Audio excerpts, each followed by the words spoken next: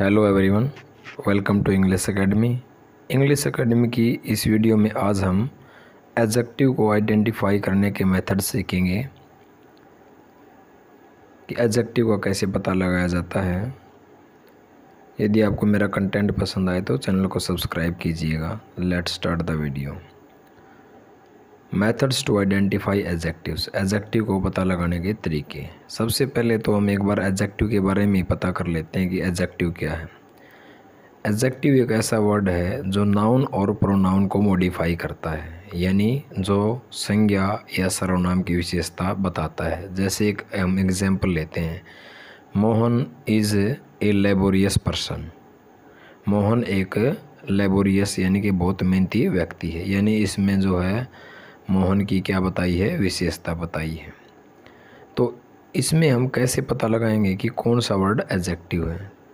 तो सबसे पहला जो तरीका है वर्ड के जो पीछे जो सफिक्स लगा होता है प्रत्यय ओ यू एस जैसे लेबोरियस लेबोरियस का मतलब डिलीजेंट पर्सन मेहनती व्यक्ति। तो ओ यू एस इसके लास्ट में आए तो इसका मतलब ये क्या है एडजेक्टिव है। दूसरा वर्ड है क्रेजियस साहसी व्यक्ति। निडर व्यक्ति, डेयर्ड पर्सन। तो इसके भी क्या आया है? ओ यू एस इसका मतलब ये क्या है? एडजेक्टिव है। दूसरा हमारा मेथड है वर्ड के, जो है कौन सा सफिक्स हो? एफ़ यू एल फुल हो या फिर लेस हो? जैसे कि होपफुल क्या है इसके? सफिक्स एफ़ यू एल इसका मतलब क्या है ये? एडजेक्टिव है। ब्यूटीफुल फॉल्टलेस एंड लेस आया है।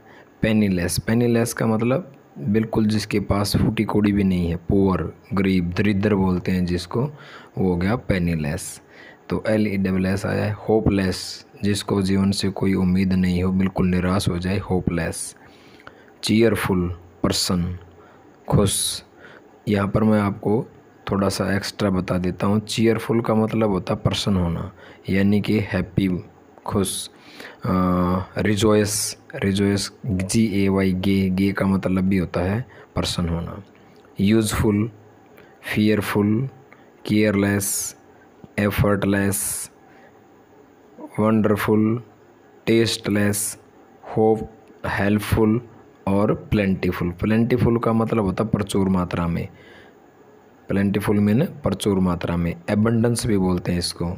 Abundance A B U N D A N C abundance का मतलब भी होता है प्रचुर मात्रा में, पर्याप्त मात्रा में।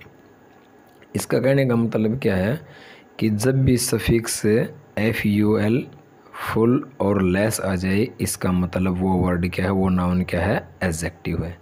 तो हमने एक मेथड था ओ यू एस लेस या फुल और तीसरा मेथड है ए एन टी या ई एन टी आ जाए। वर्ड के लास्ट में एंट या फिर ई एन टी आ जाए। जैसे इम्पोर्टेंट ये भी एडजेक्टिव है।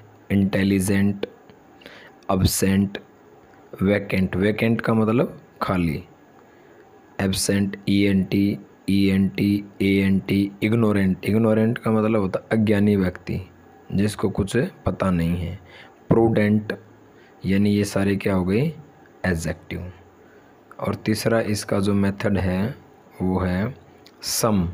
कौन सा सफिक्स आ जाए? जिसके पीछे सम लगाओ, जैसे हैंडसम, फियरसम।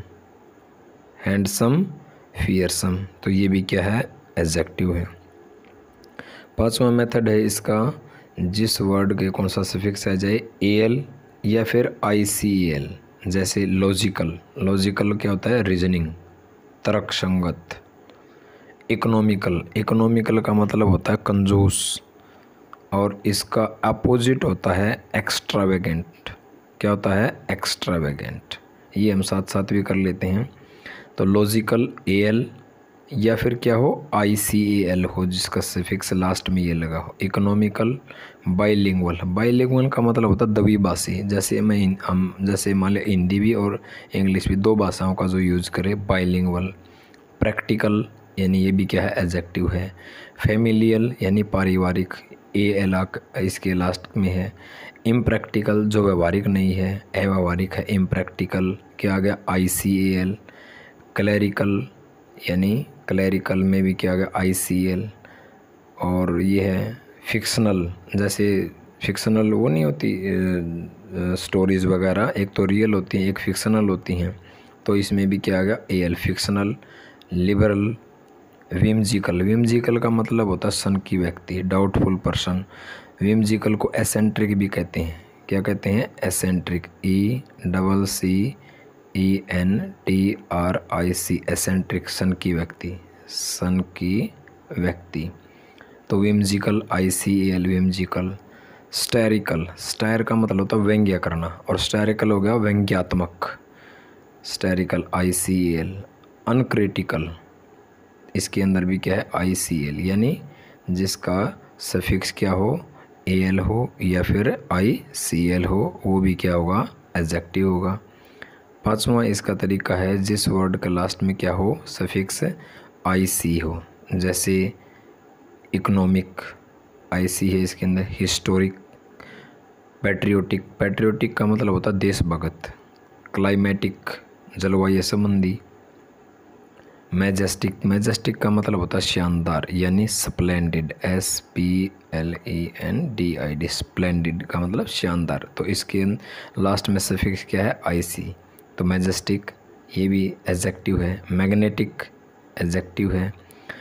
पीरियोडिक जैसे पीरियोडिक टेबल है साइंस के अंदर पीरियोडिक आईसी है। सिंबॉलिक प्रतीकात्मक होना किसी चीज़ का सिंबल होना, ये आईसी है, ये भी एजेक्टिव है। ईगोसेंट्रिक यानी एक ईगो यानी घमंडी व्यक्ति ईगोसेंट्रिक आईसी ये भी एग्जेक्टिव है। और एसेंट्रिक ये हमें, हमने बताया था एसेंट्रिक सन की व्यक्ति। तो ये सारे के सारे क्या हैं? एडजेक्टिव हैं। और जिस भी वर्ड के क्या हो एबल आ जाए। क्या आ जाए? एबल जैसे टोलरेबल टोलरेबल का मतलब होता है सहनीय valuable capable avoidable admirable admire का मतलब होता है प्रशंसा करना। इसके मैं सिनानिम से आपको बता देता हूँ, यहाँ अप्रिशिएट करना। अप्रिशिएट करना लोड करना, तारीफ़ करना, और अपलोड करना।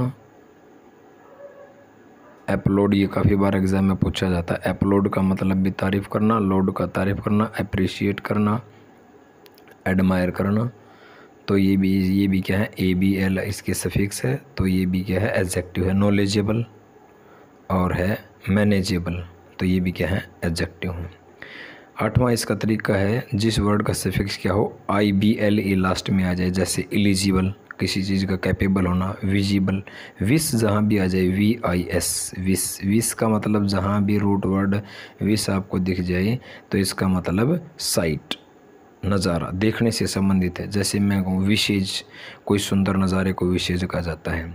तो विजिबल का मतलब होता है जो नज़र आता है, जो दिखाई देता है। तो इसके क्या आ गया? सफिक्स आ गया इसमें आई बी एल ई ये एग्जेक्टिव है और इनविजिबल क्या हो जाएगा? अदृश्य जो दिखाई नहीं दे। और इससे अगला है हमारा फिर